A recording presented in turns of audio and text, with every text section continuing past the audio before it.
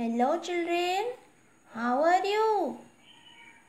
Okay, I am here, Miss Mitanjali, going to teach you Social Studies, Standard 3. Children, are of you ready?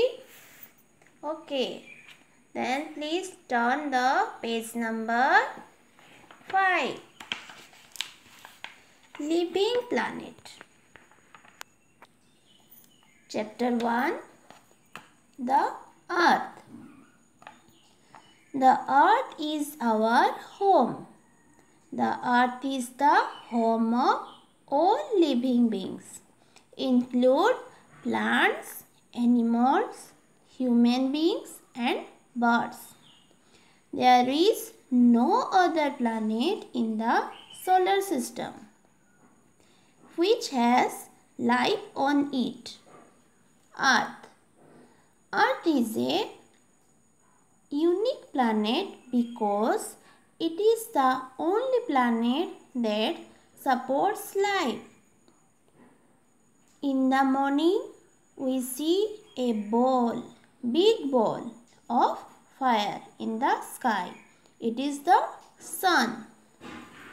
This is the sun picture and this is earth. By the evening, the sun sets and it becomes dark. At that time, we can see moon and stars in the sky. So we can see sun in the morning or daytime and we can see moon and star at night or in the evening time. The sun is also a star. Sun is also a big star. The sun, moon and stars are called heavenly bodies. So what is heavenly bodies children? The sun, moon and stars are heavenly bodies.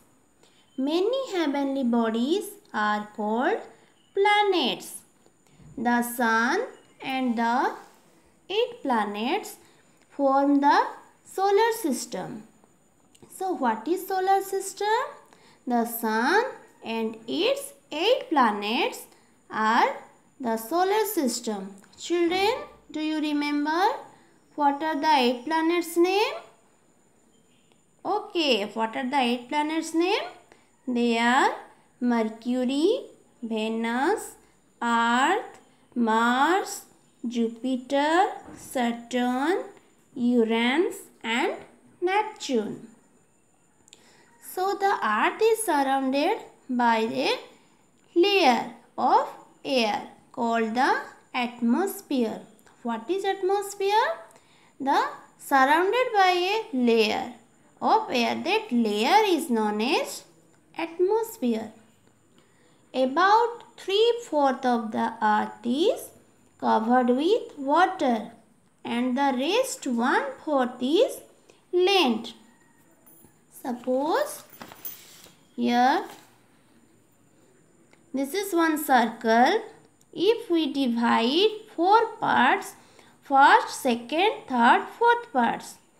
This one part is only land and these three parts are water. This is one fourth part of land and this is three fourth part of water.